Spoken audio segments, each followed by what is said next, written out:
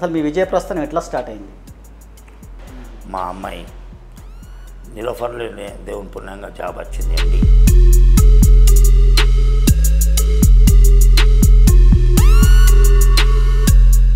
ఇంకా మీ ప్రస్థానం స్టార్ట్ అయిన తర్వాత మరి ఆ పక్కనే హాస్పిటల్కి వచ్చే వాళ్ళకి భోజనాలు పెట్టాలి అనే ఆలోచన ఎందుకు వచ్చింది? అదే టెన్త్ క్లాస్ చేసుకున్నాక మళ్ళా మా నాన్న దగ్గర పోయినా నాకు బుక్కులు కొనే కోసం పైసలు కావాలంటే.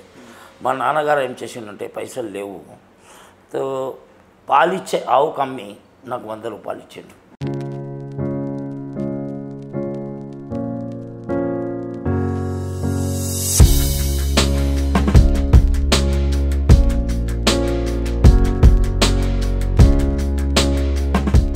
సుమారుగా ఎంత జరగవచ్చు మీ అంటే మీరు ఏమైనా చెప్పాలని కూడా చెప్పవచ్చు ఇబ్బంది ఏంటి ఎంత జరగవచ్చు సుమారుగా మీ టర్న్ ఓవర్ ఎంత జరగవచ్చు ఇప్పుడు? హైదరాబాద్లో వచ్చినాక టీ హోటల్ అంటే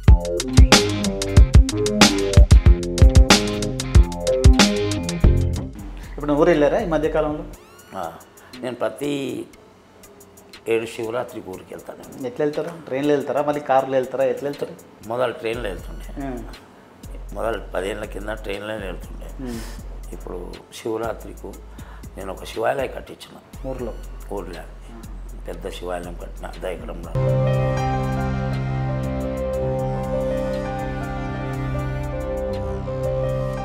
ఆకాశమే అద్దుగా దూసుకుపోతున్నటువంటి గొప్ప గొప్ప ప్రొఫైల్ ఉన్నటువంటి వ్యక్తులను చూస్తుంటాం. కానీ సామాన్య స్థితి నుంచి కూడా అందరూ ఎదగొచ్చు అనే కసిని రగిలించే కొంతమంది వ్యక్తులు కూడా ఉంటారు. మరి అలాంటి జీవితాలను చదివినప్పుడు కానీ అలాంటి జీవితాలలో సంబంధించిన విజయాన్ని చూసినప్పుడు కానీ మనకు కూడా ఒకంత గర్వం పెరుగుతుంది. మనము ఎదగాలి అనే ఒక ఆశ కలుగుతుంది. ఇట్లా ఇట్లాంటి స్టోరీస్ని చూస్తున్నప్పుడు ఎంతోమంది ఎదిగిన ఉదాహరణలు కూడా మనం ఎన్నో చూస్తుంటాం సమాజంలో. సో అలాంటి ఒక స్టోరీని ఈరోజు మనం ప్రజెంట్ చేయబోతున్నాం. మరి ఆ స్టోరీ వింటే కనుక ఖచ్చితంగా ఒక మనిషి అట్టడుగు స్థాయి నుంచి ఆకాశమే అద్దుగా సాగినటువంటి విజయ ప్రస్థానం చూసినట్లయితే మనిషి తలుచుకుంటే ఏదైనా సాధించవచ్చు. కష్టాలన్నిటి కూడా ఎన్నో వస్తుంటాయి. కానీ వాటిని తట్టుకొని ముందుకు వెళ్ళడమే మనిషి యొక్క విజయమని కొంతమంది జీవితాలు చూస్తే మనకు అర్థమవుతుంది. అలాంటి పర్ఫెక్ట్గా ముందుకు వెళ్ళి ఎన్నో విజయాలను అందుకొని విజయవంతమైనటువంటి స్థాయిలో ఈరోజు వెళ్ళినటువంటి ఒక పర్సనాలిటీని మనం ఈరోజు ఇంటర్వ్యూ చేయబోతున్నాం. ఆయనే బాబురావు గారు. నమస్తే సార్. ఒకప్పటి బాబురావు గారికి ఇప్పటి బాబురావు గారికి ఏంటి తేడా? అసలు మీ విజయ ప్రస్థానం ఎట్లా స్టార్ట్ అయింది?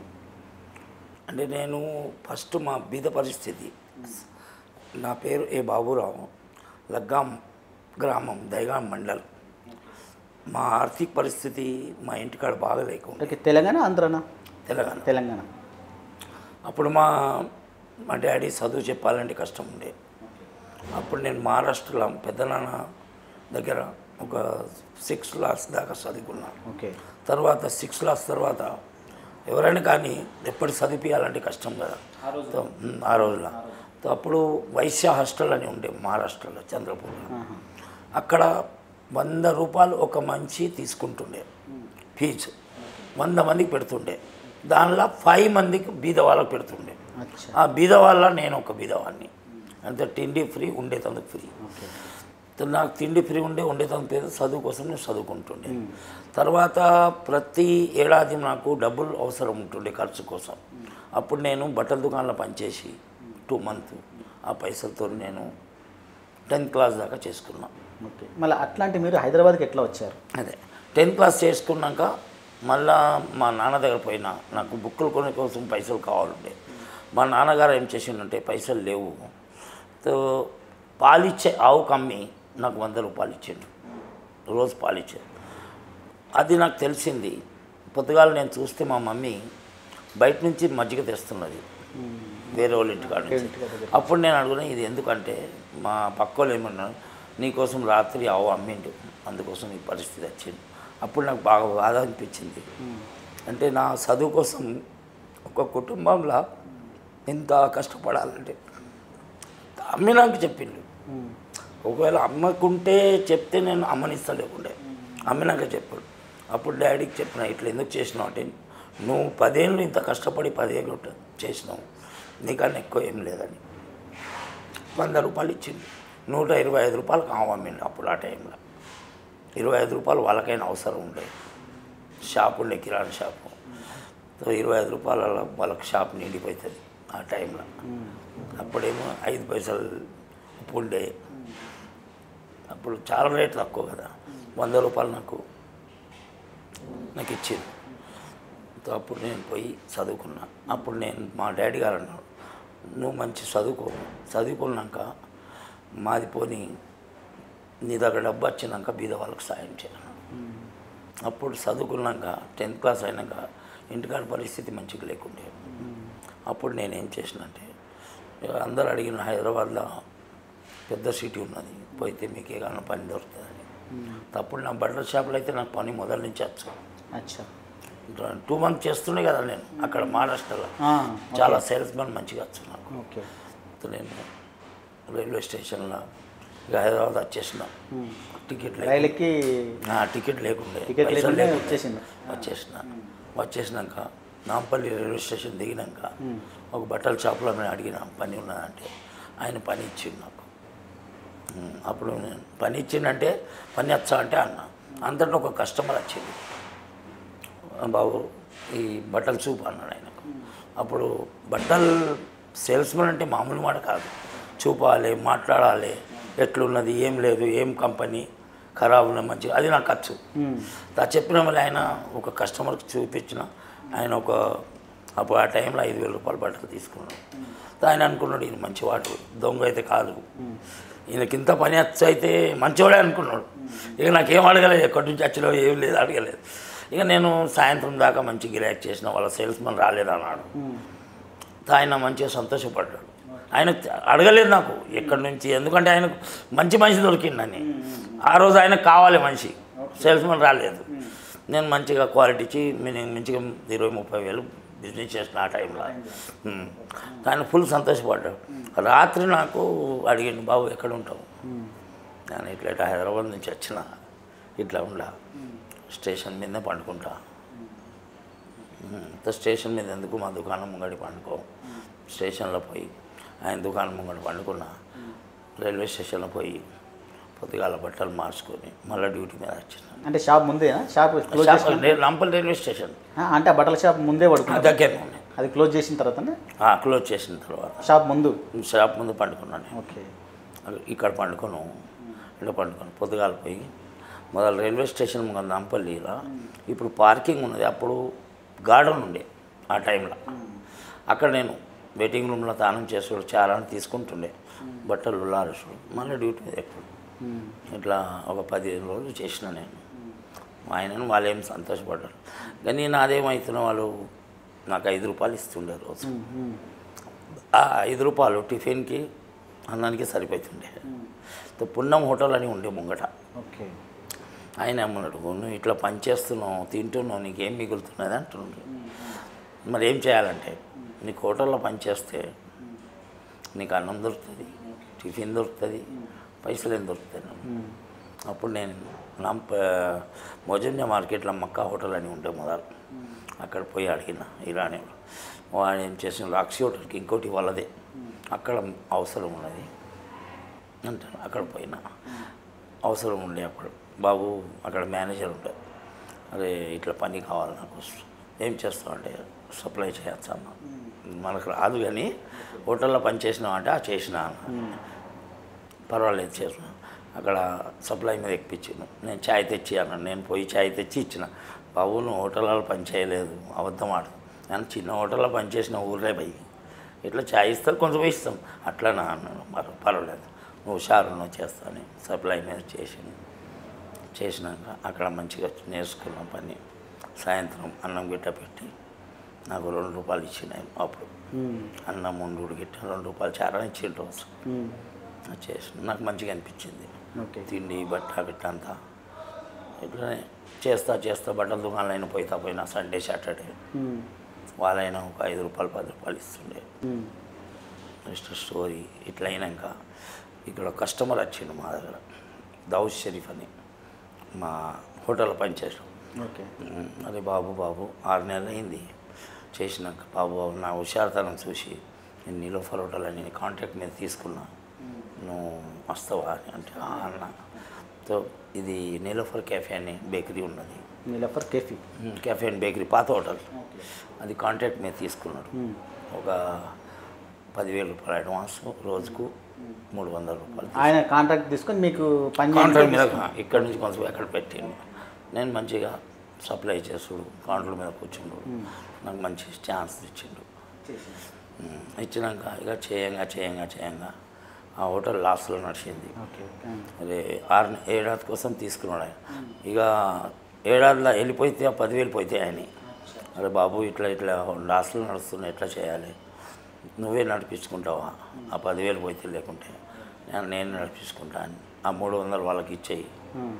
ఈ పదివేల రూపాయలు ఉండేని నువ్వు నాకేమి ఇవ్వకున్నా పర్వాలేదు ఏడాది తర్వాత అట్లా ఇస్తా పోయినా నడిపించిన. కష్టపడ్డా లోపల పోయి పూరీలు తయారు చేసిన కౌంటర్ మీద కూర్చున్నా సప్లై చేసిన అన్నీ చేసిన ఇదే హోటల్లో. సో చేసినాక ఒక మంచి పికప్ వచ్చింది. కాంటాక్ట్ కథ అంత ధైర్యం వచ్చిందా? అంటే ఆయన వదిలేడిచిపోతే నేను ఎందుకంటే అప్పటికి నష్టాల్లో ఉంది. మరి దాన్ని తీసుకుంటే లాభం వస్తా రాదా? మన నష్టం వస్తే ఎట్లా ఎట్లా డబ్బులు కట్టాలని భయం పూరి తయారు చేస్తుండే ఆ లాభం మిగిలింది. కౌంటర్ మీద నేనే కూర్చుంటే లాభం మిగిలింది. అన్ని పనులు మీరే. వెయిటింగ్ మీద నేనే చేసిన కప్పులు తేములు ఆ పైసలు మిగులుతాయి. ఓకే. లేకుంటే మొదలు బట్టి కౌంటర్ మీద కూర్చుంటుండే. ఇక నేను మొదలు చంద్రపూర్లో ఒక చాయ్ హోటల్ నేను పెట్టిన. నాకు చాయ్ అనుభవం ఉండే అప్పుడు. చేసినాక ఇక నాకు పదకొండు నెలలు అయినాక అగ్రిమెంట్ ఖతం అయింది వాళ్ళది. ఇక హోటల్ ఇడవాలి. బాబు నేనేం చేయాలి? ఇక హోటల్ అయితే ఇడవాలి. నువ్వు నడిపిస్తా అంటే నేను మళ్ళీ కంటిన్యూస్ చేస్తా. ఓకే. పర్వాలేదు. వాళ్ళు ఏం చేసి ఇరానీ వాళ్ళు నేను హోటల్ మేము అడ్డా ఉంటుంది పురాగా నేను అడ్డా మీద నేను తీసుకుంటా. వాళ్ళు నలభై వేలు అడిగిండు తీసుకుంటాను. మళ్ళీ నువ్వు మూడు వందల రూపాయలు వాళ్ళకి ఇస్తూ డైలీ కదా. అది నాకు ఇచ్చేయాలి అన్నాను. పర్వాలేదన్నా. ఇచ్చేస్తా అన్న. వాళ్ళు నలభై వేల రూపాయలు అడ్వాన్స్ ఇచ్చి ఆ హోటల్ అడ్డా తీసుకున్నాను. అడ్డా.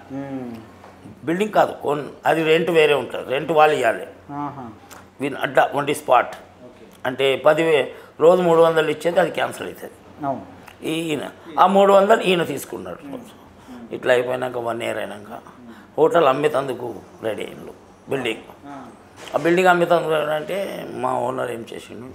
బాబు నేను కొంటా పోయి నువ్వు ఉంటావు కదా అంటే అంటే. ఎస్ అన్న ఆయన కొన్నాడు లక్ష ఇరవై ఐదు వేలకు. అప్పుడు. దానికి రెంట్ ఉండే నూట ఇరవై ఐదు రూపాయలు ఆ టైంలో రెంట్ నూట ఇరవై ఐదు రూపాయలు రెంట్ ఉంటే. ఆ రెంట్ అయినా నేను ఇస్తుంటే చేసిన. దాని తర్వాత వన్ ఇయర్ తర్వాత మూడు వందలది నాలుగు వందలు అయింది ఐదు వందలు అయింది వెయ్యి రూపాయలు అయింది ఒక ఐదేళ్ళ తర్వాత హోటల్ మంచి ఫామ్ మీద వచ్చింది. రెన్యూట్ చేసినాం. మంచిగా చేసిస్తా నేను. నాకు మంచిగా ఇస్తామంటే అన్న. మన ఇరవై ఎనిమిది లక్షలు పెట్టి హోటల్ మంచిగా చేసిండు. అప్పుడు వెయ్యి రూపాయలు రోజు ఇచ్చిన ఆయనకు. వెయ్యి రూపాయలు. మళ్ళీ కొన్ని రోజుల తర్వాత ఆయనకి ఏదో ప్రాబ్లం వచ్చింది. ఆయనకు మంచిగా అనిపించింది. ఈయన మంచిగా చేస్తాడు. ఆయనకైనా వేరే బిజినెస్ చేస్తా అన్నాడు. నాకు నీకు హోటల్ ఇస్తా అన్నాడు. నువ్వు చేసుకోవి. నేను చేసుకున్నా మంచిగా. ఇట్లా చేసినాక ఇక కూడా అంతా డబ్బులు ఇచ్చింది ఆయనకు.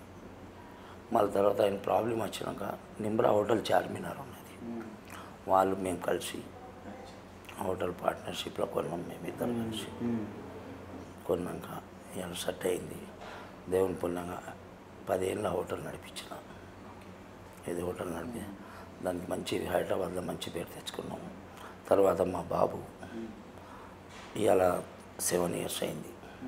ఈ ఫీల్డ్లో బాబు వచ్చిండు. మంచిగా హోటల్లో అన్నీ చూసుకున్నాడు. మూడు అంటే మీకు పెళ్ళి అయింది అప్పటికే? పెళ్ళైంది పెళ్ళైంది పెళ్ళి అయినాక హైదరాబాద్కి వచ్చిండ్రా? లేకపోతే ఇక్కడికి వచ్చినాక పెళ్ళి అయిందా ఇది ఇక్కడ వచ్చినాక. ఇక్కడ వచ్చినాకనే పెళ్ళి ఓకే. దాని సంగతి పెద్దగా ఉన్నది. చెప్పండి పర్లేదు. అది ఎట్లా అంటే కౌంటర్ మీద కూర్చుని ఉండే. మా ఊరమ్మాయి ఊరమ్మ వచ్చింది. ఆమె చూసింది నాకు.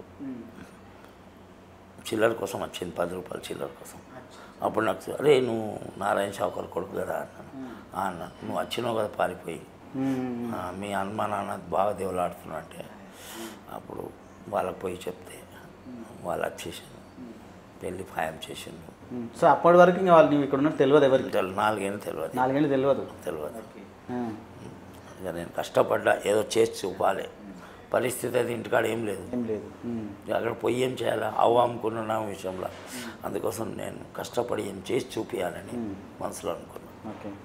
సరే ఇప్పుడు ఆ చిల్లర కోసం వచ్చింది. ఆమె వెళ్ళి ఇంట్లోగా చెప్పింది మళ్ళీ వచ్చింది. ఉమ్, పెళ్ళి ఎట్లా ఫిక్స్ చేశారు ఆమెతో? మళ్ళీ మా మా పెద్దన్న వచ్చిండు ఇక్కడ చూసిండు. మళ్ళీ నేను హోటల్లో మంచిగానే ఉండే కదా. అప్పుడు ఆశీబాబాద్ పిల్ల ఓకే. అక్కడ చేసుకున్నా. అంటే ఆమెనే పెళ్ళి చేసుకున్నారా?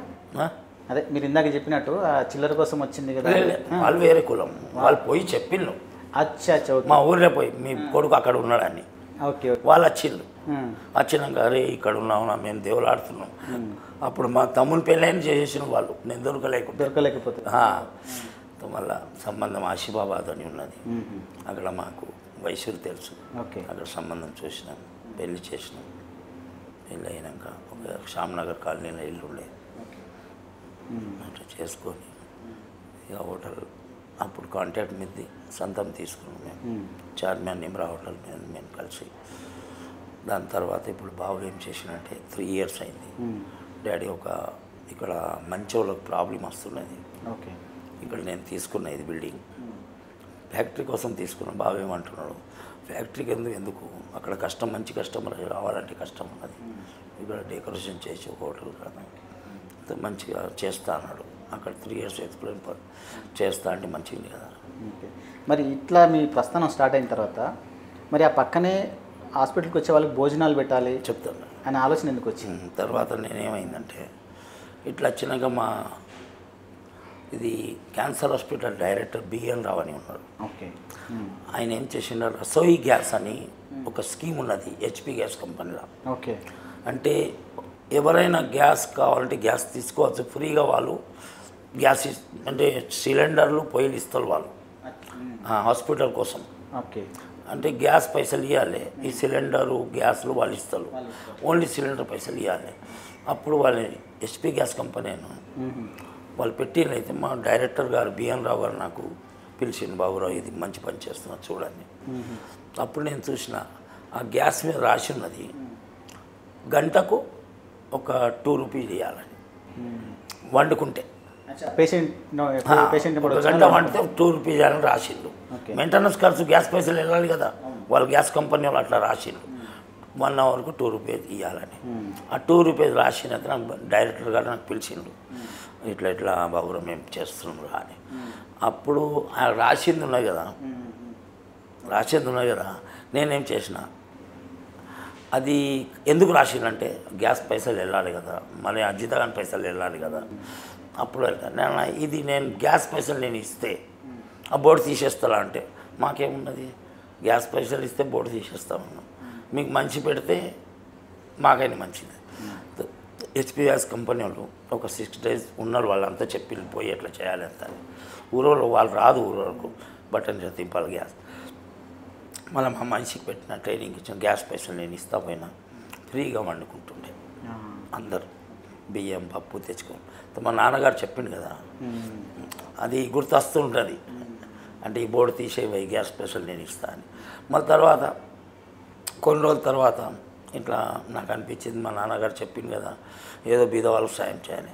బియ్యము కూరగాయ ఇచ్చుడు చాష్టాలు చేసిన. ఆ బియ్యం కూరగాయ బియ్యం పావు కిలో బియ్యం ఒక పేషెంట్కు. Patient and attenders okay. పావు కిలో బియ్యం ఇస్తుండే. పొద్దుగాల సాయంత్రం పావు కిలో పావు కిలో బియ్యం. దాని తర్వాత బియ్యం ఇచ్చినాక కూరగాయ ఇచ్చినాక సారు అంత ఇచ్చిండు ఈ పసుపు కారం గిట్ట అది ఇస్తే బాగుంటుంది. రోజు తెచ్చుకోవాలి పడేయాలి మేము. Okay okay. చలో ఇస్తా అని అక్కడ ఒక కిచెన్లో ఒక అమ్మాయికి పెట్టేసిన జీతం.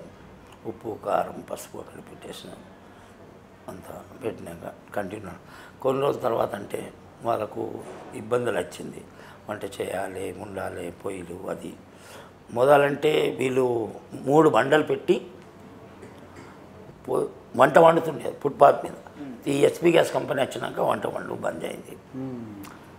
అది మూడు బండలు పెట్టి గంజులో వండుతుండే వాళ్ళు. అది వెళ్ళిపోయిన హెచ్పి గ్యాస్ వచ్చినాక ఇది అయిపోయింది. ఇప్పుడు మీరే వంట చేపిస్తున్నారా? ఇప్పుడే అప్పుడు ఇస్తాండ కొన్ని రోజుల తర్వాత. ఈ బియ్యం గిట్ట వాళ్ళు ఏం చే- ఊరికి ఉంచిపోతుండే. వంట లేకుండే ఏమో ప్రాబ్లం.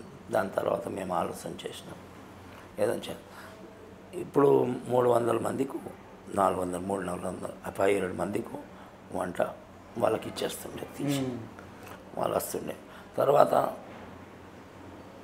రామ్ కుమార్ గోయల్ అని ఏఆర్సీ ట్రాన్స్పోర్ట్ ఇండియాలో నెంబర్ వన్ ట్రాన్స్పోర్ట్ ఆయన పిలిచిండి ఇట్లా సేవ చేస్తున్నా అంటే తెలిస్తే బాబురావు బాబురావు ये तुम जो कर रहे हमको दे दो ना हम कर देते हैं అచ్చా ఆయన వాళ్ళ భార్య క్యాన్సర్ అయింది చంద్రకళ అని వాళ్ళ భార్య సోషల్ పని చేస్తారు ఆయనకు అనిపించింది ఈ సేవ నాకు దొరికితే మంచిగా ఉంటాయని నాకు అడిగిండు నేను ఓతో नहीं देता मैं तुमको और कुछ करना है तो बोलो टिफिन वगैरह होना है उनको और टिफिन देता हूँ అన్నాడు फिर बोलो टिफिन का अरेंजमेंट करते बोला तो मैं देता हूँ అన్నాడు तो कब देते हैं అంటే एक दिन का देता हूँ అన్నాడు అంతే మన దీని అయితే ఏమంటే చలో పోనీ అన్న స్టార్ట్ చేద్దాం తర్వాత చూద్దామని.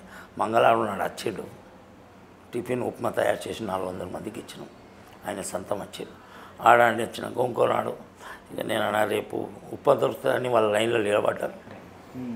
ఇక నేనన్నా చలో ఏమైతే మనం ఇద్దామని స్టార్ట్ చేసినాను నేనే ఇస్తాను ఇప్పుడు కొన్ని రోజుల తర్వాత ఇప్పుడు ఈ పరిస్థితి ఎట్లున్నా అంటే నేను అప్పుడు అనుకున్నా. నేను ఇంత ఖర్చు చేస్తున్నా రేపు ఇది నేను లేకుంటే ఎవరు చేస్తారు? అది కూడా అంతా నాకు బాధ ఉండే. తర్వాత మీ టీవీ ఛానల్ వాళ్ళు పేపర్ వాళ్ళు అంతా ఇట్లా ఇస్తుందంటే చాలామంది పేపర్లు వచ్చినాక నా దగ్గర వచ్చిండు అరే బౌరా సార్ నేను ఇస్తా ఇయ్యాలా? నేను ఇస్తా ఇయ్యాలా? నేను ఇస్తా ఇయ్యాలా? ఇట్లా స్టార్ట్ అయింది. నాకైనా మంచిగా అనిపించింది. ఇవాళ ఇచ్చేటోళ్ళు అయినా చాలామంది ఉన్నారు బుకింగ్ చేసేటోళ్ళు బర్త్డే కారణంగా ఎవరెవరు క్యాన్సర్ పేషెంట్ మంచిగా అయితే టిఫిన్. ఇవాళ పద్ధతి నడుస్తున్నది. నాకు సంతోషం ఏమంటే ఈ హాస్పిటల్ ఏరియాలో తిండి అంటే దొరకలేకుండే ఫస్ట్. నాకు సంతోషం నేను ఈ కార్యం చేసినాక అందరూ బాబురావు చేస్తున్నాం మనం చేద్దాం మనం చేస్తాం. ఇస్కాన్ టెంపుల్ వాళ్ళు వచ్చిండ్రు మేము చేస్తా అంటే వాళ్ళకి నిలోఫర్ చూపించిన వాళ్ళకు. నిలోఫర్లో చేయబోయి నేను ఇక్కడ చేస్తున్నాను. ఇప్పుడు ఎట్లయిందంటే నీలోఫర్ హాస్పిటల్లో ఇచ్చేటోళ్ళు మంది ఎక్కువ అయిండ్రు తీసుకునే వాళ్ళు తక్కువ అయిండ్రు నాకు సంతోషం ఏమనిపించిందంటే దేవుడు ఒక దారి చూపించును. మన ఏరియాలో హాస్పిటల్ వచ్చేటోనికి ఒక మంచి సేవ దొరుకుతున్నాను అట్లయితే మా బాబు చేస్తా అన్నాడు కానీ బాబు చేస్తా అన్నాడు కానీ ఇప్పుడు నాకు ఇప్పుడు మేమైనా మా బాబు బీటెక్ ఎంబీఏ మా అమ్మాయి నిలోఫర్లోనే దేవుని పుణ్యంగా జాబ్ వచ్చింది ఎండి. ఇంకా మా అల్లుడు లంగ్ స్పెషలిస్ట్. ఏఐజీ హాస్పిటల్ కొండాపూర్లో. ఇంకొక అల్లుడు మన ఇది Emirate airports Dubai planning officer. వాళ్ళ అమ్మ ఆ అమ్మాయి ఎంటెక్ ఇచ్చేసుకున్నాం. అమ్మాయి ఇచ్చింది ఎంటెక్ ఎంతమంది మొత్తం పిల్లలు ముగ్గురు ఇద్దరు బిడ్డలు ఒక కొడుకు. ఓకే. ఇది BTech MBA MTech MD okay okay. ఈ అన్ని కారణాలకు అన్ని సపోర్ట్ కంటే మా ఫ్యామిలీ అంతా సపోర్ట్ ఉండే.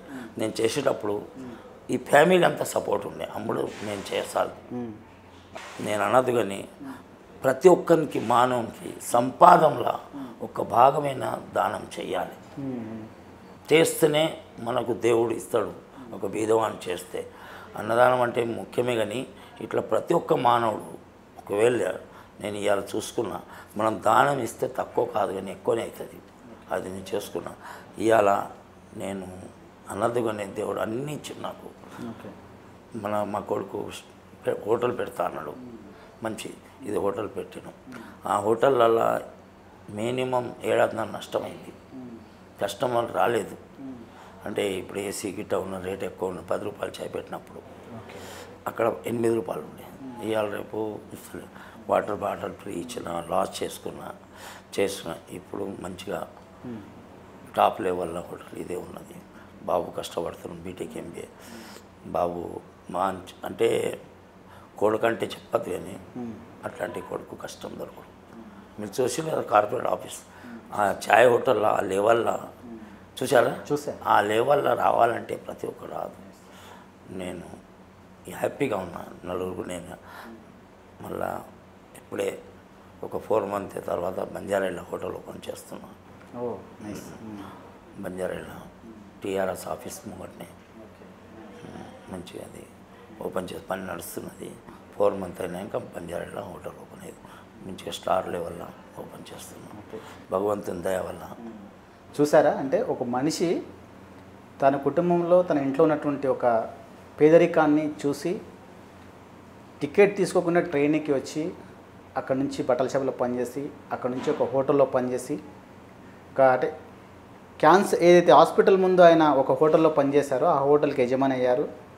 ఇప్పుడు వాళ్ళ పిల్లలు వాళ్ళ ముగ్గురు సంతానంలో ఒక పాప అదే హాస్పిటల్లో ఎండీగా పనిచేస్తుంది.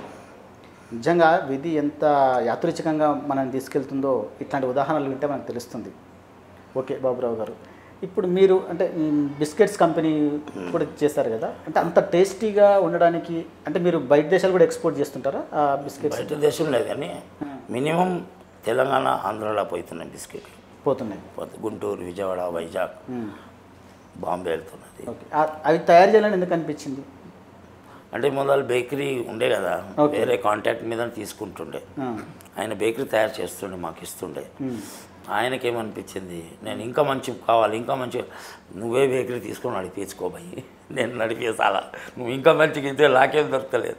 నేను అనుకున్నా అదేం చేద్దామని గల్లీలో బేకరీ ఉండే ఆయనది. నేను తీసుకొని నేనే మెయింటైన్ చేసుకున్నా. నేనే సొంతం టేస్ట్ చేయాలి ఎట్లా చేయాలి ఎట్లా చేయాలి. చాయ్ ఎట్లా పత్తి టేస్ట్ చేస్తున్నా అట్లా చేయాలి. తర్వాత ఈ హోటల్ ముఖ్య కారణం అంటే నాకు ఈ హోటల్ నడిచేటిదంటే ఒక కారణం. మనిషి ఎప్పుడైనా మన సంపాదన కోసం ఎవరైనా చేస్తాడు ఇప్పుడు ఇక్కడ ఉన్న ఎక్కువ మంది యశోద ఫౌండేషన్ అని యశోద హాస్పిటల్ యశోద ఫౌండేషన్. వాళ్ళ బీద వాళ్ళకు ఊరి నుంచి తెచ్చి అరవై మందికి అన్నం తినిపించి ట్రైనింగ్ ఇస్తారు. ఎట్లా ఉండాలి ఎట్లా లేదు. ఆ ఇరవై రెండు పిల్లలు నాకు ఈ హోటల్ ఓపెన్ చేసినప్పుడు వాళ్ళు ఇచ్చిండ్రు. ఆ ఇరవై రెండు పిల్లలు ఇవాళ మంచి పని చేసిండ్రు. ఒక్కొక్కడు కౌంటర్ మీద ఉన్నాడు కంప్యూటర్ మీద ఉన్నాడు. వాళ్ళకు ఉపాధి దక్కును.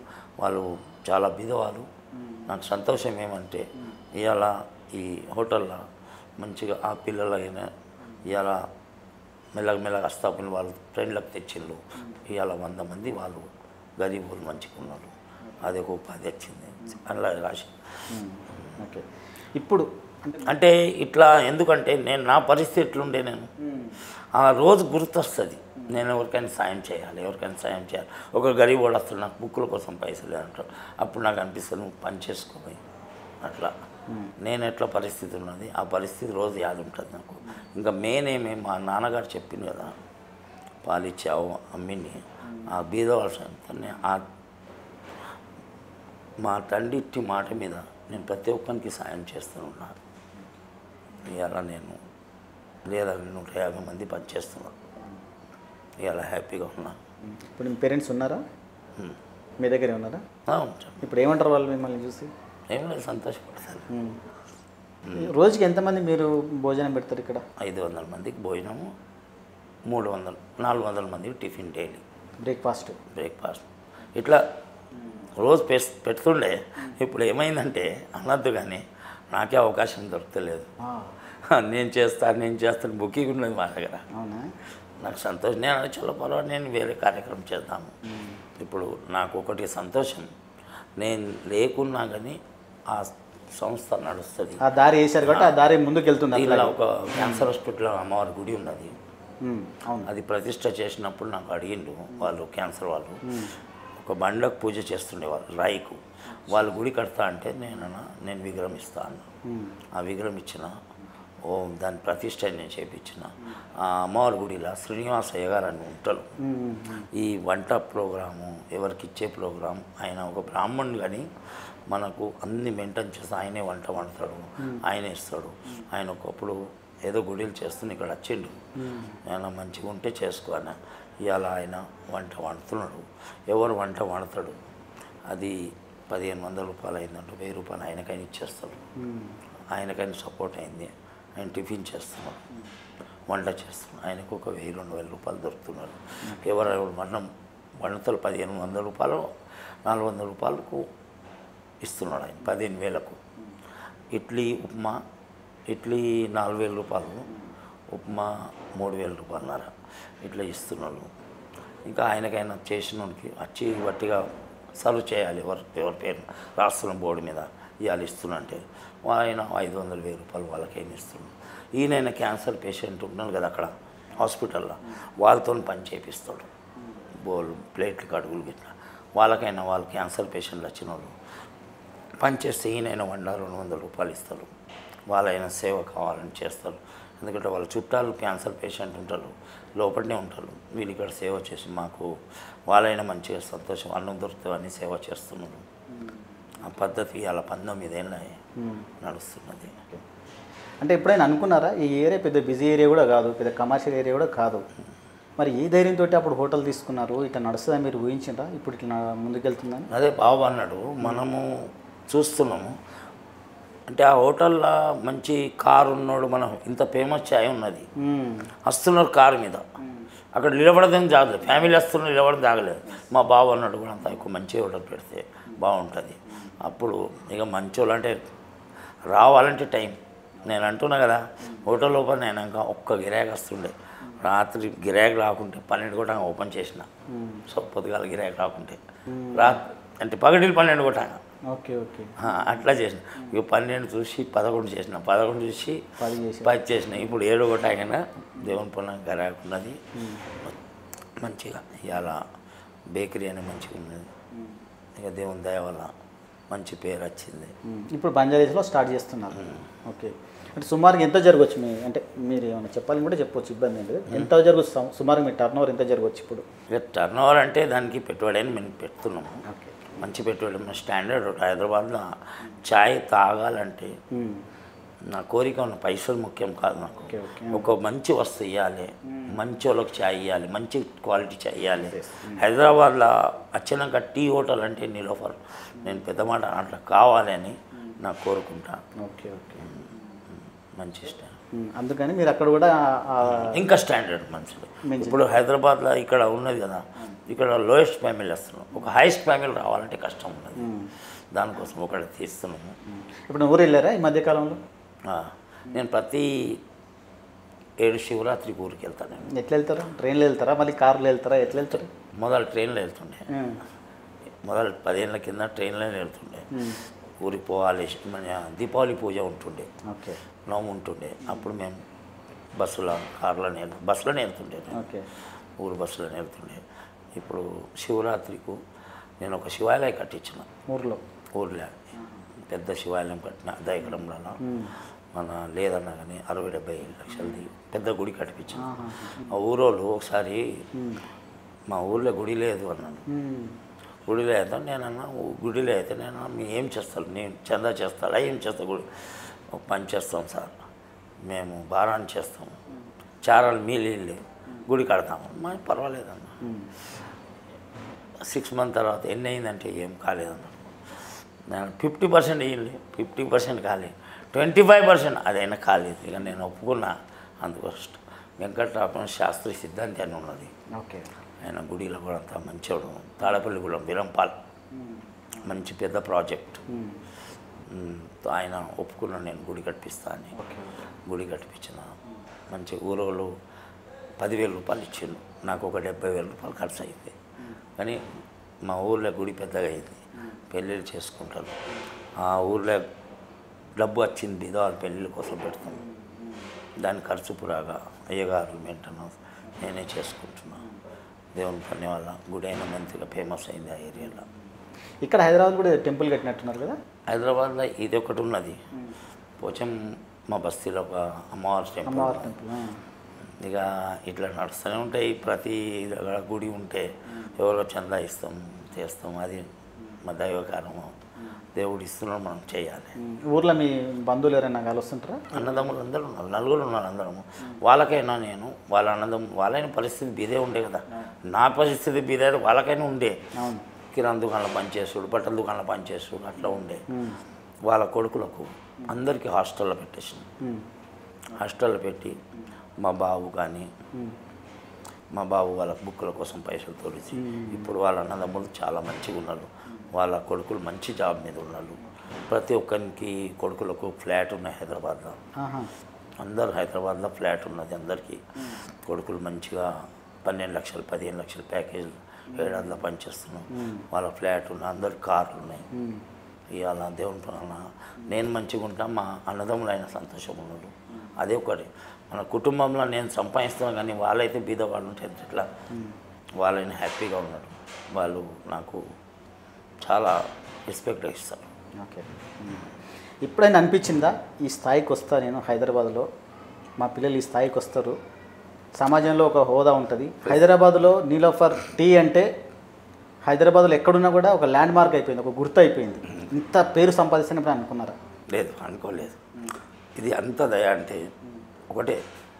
పేరు వస్తుంది పేరు వస్తుంది ఆ దేవుడు ఎప్పుడు చేపిస్తా బీద వాళ్ళకు నేను చేస్తున్నా. ఆ కార్యం ఎక్కడ దాకా ఉంటుంది? సేవా కార్యక్రమం అప్పటిదాకా నాకు సంతోషం. నేను పైకి పోవచ్చని.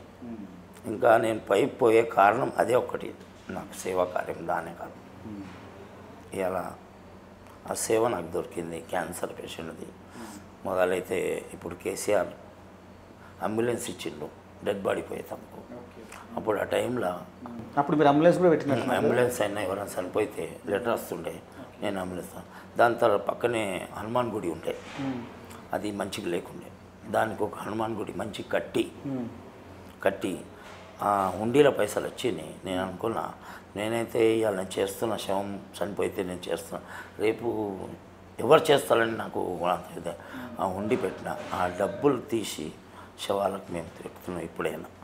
అయ్యగారికి జీతం నేను ఇస్తా ఖర్చు నేను ఇస్తా కానీ అందులో వచ్చిన ఆదాయం శవాలకు పెడుతున్నాం. అదైన గుడి ఇవాళ శవాలకు పెడుతున్నామంటే అందరు డొనేట్ చేస్తున్నాం అప్పుడు శన ఇప్పుడు మా కేసీఆర్ గారు అంబులెన్స్ ఇటు వల్ల బంద్ అయింది. సరే. అంటే నిజంగా చాలామంది మీలాగా అంటే పూర్తి బీదరిక నుంచి ఒక స్థాయికి వచ్చిన వాళ్ళు ఉంటారు. కానీ సమాజ సేవ చేయాలి అది కూడా ఇట్లాంటి సేవ చేయాలి. అంటే ఆ అన్నం పెట్టాలనేది మాత్రం చాలా గొప్ప సేవ అని చెప్పాలి. అన్ని సేవల కంటే అన్నదానం అనేది చాలా గొప్ప సేవ. అంటే భగవంతుని పూజించకంటే పెద్ద సేవ అన్నం పెట్టడం అన్నది. సో అది మీరు ఎంచుకున్నారు. ఇంకా సమాజంలో మీలాంటి వాళ్ళు ఎదిగే ఎంతోమంది ఎదుగుతూ ఉంటారు కదా వాళ్ళకి ఇచ్చే మీరేమని చెప్తారు వాళ్ళ కోసం? అంటే నేను మా మా డాడీ మా కోసం ఇంత కష్టపడ్డాడు తెలుసు. మా డాడీ ఒక మాట అన్నాడు చేయాలి చేయాలని నేను చేస్తున్నా. మా కొడుకైనా నా స్టోరీ ఇప్పుడు టీవీ వల్ల దానివల్ల మా కొడుకుకైనా ఏర్పాటవుతున్నది. అరే మా డాడీ ఇట్లా చేస్తున్నప్పుడు దానివల్ల మేము మంచిగా అవుతున్నాం. కొడుకైనా చేయబుద్ధి అవుతుంది. అరే మా డాడీ ఇంత వాళ్ళ ముంగట ఏం చేస్తున్నా కదా. వాళ్ళ డాడీ ఏం లేకుండే ఇంత చేస్తున్నాను ఇంత అయింది. మనకైనా చేయబుద్ధి అవుతుంది. ఇప్పుడు మా బావ అయినా చదువుకున్న వాళ్ళకి చెప్తున్నాడు. మంచిగా కార్పొరేట్ ఆఫీస్ ఓపెన్ చేసిండు మంచిగా స్టాండర్డ్లా మంచి చదువుకున్న వాళ్ళకి పెడుతున్నాడు. ఇప్పుడు కొత్త హోటల్ ఓపెన్ చేస్తున్నాడు అక్కడ బీదవాళ్ళు ఉంటుండే పాత హోటల్లో. దానికన్నా చదువుకున్న వాళ్ళు ఇక్కడ వచ్చిండు అక్కడ హోటల్ మేనేజ్మెంట్ పిల్లలు పెట్టుకునే విచారం ఉన్నది. వాళ్ళకైనా ఉపాధి దొరకాలి. ఉమ్. అంటే హోటల్ అంటే స్టాండర్డ్ కూడా ఇంగ్లీష్ రావాలి హిందీ రావాలి. అంత హోటల్ మేనేజ్మెంట్ కొనికి పెట్టాలని బాబుకు మనసులో ఉన్నది. ఆ బాబుకు బాబు అయినా చాలా కష్టపడి బ్యాంక్ బ్యాంకులో జిఎస్టీ కట్టి డైలీ జి మంచిగా అమ్మకం చూపించి జిఎస్టీ కట్టి బ్యాంకులో మంచి వ్యాల్యూ తీసుకున్నాడు. ఆయనైనా బ్యాంకులను లోన్ తీసుకొని మంచిగా స్టాండర్డ్గా హోటల్ పెడుతున్నాడు. ఓకే చాలా సంతోషం. అంటే మీలాంటి స్టోరీస్ ఇంటర్వ్యూ చేస్తుంటే కూడా ఇన్స్పైర్ అనిపిస్తుంటారు ఈ స్టోరీ. చూసిన వాళ్ళు కూడా చాలా ఆనందం వ్యక్తం చేస్తుంటారు ఆనందపడుతుంటారు. నిజంగా ఇలాంటి స్టోరీస్ చూసినప్పుడు ఏంటంటే హ్యుమానిటీ అనేది సమాజంలో హ్యుమానిటీ ఏ విధంగా ఉండాలి? మనిషి ఎదిగిన తర్వాత పక్కోడికి ఎట్లా సహాయం చేయాలి? ఆ సహాయంలో కూడా ఏది అవసరమో అదే సహాయం చేయాలి. మనం అవసరం లేని చోట సహాయం చేయడం అనేది కూడా మంచి పద్ధతి కాదు. ఎక్కడైతే అవసరం ఉంటుందో అక్కడే సహాయం చేయాలి. ఆ సహాయంలో కూడా దాన గుణం మనస్ఫూర్తిగా చేస్తే మనకు పది చేతులు తోడైతాయి మనని ఇంకా ముందుకు తీసుకెళ్తాయి. సో ఇలాంటి స్టోరీస్ చూసినప్పుడు కూడా సమాజంలో ఎంతోమంది గొప్పలు ఉంటారు వాళ్ళు కూడా ఇన్స్పైర్ అయ్యి ఎంతో కొంత సమాజ సేవ చేయాలని కూడా మనం నేర్చుకోవాలి. థ్యాంక్ యూ అండి బాబురావు గారు. చాలా టైం ఇచ్చారు. సో ఇది special story. Thank you so much.